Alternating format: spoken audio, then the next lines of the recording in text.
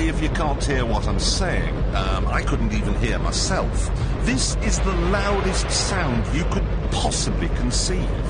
And, as it turns out, the cleanest.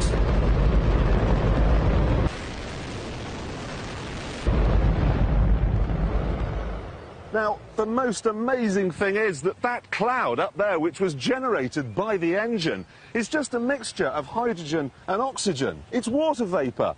And in about an hour's time, someone in Mississippi is going to get wet washing. It will actually rain. I told you. It's raining. That's unbelievable. Oh. NASA's playing God. It's making its own weather.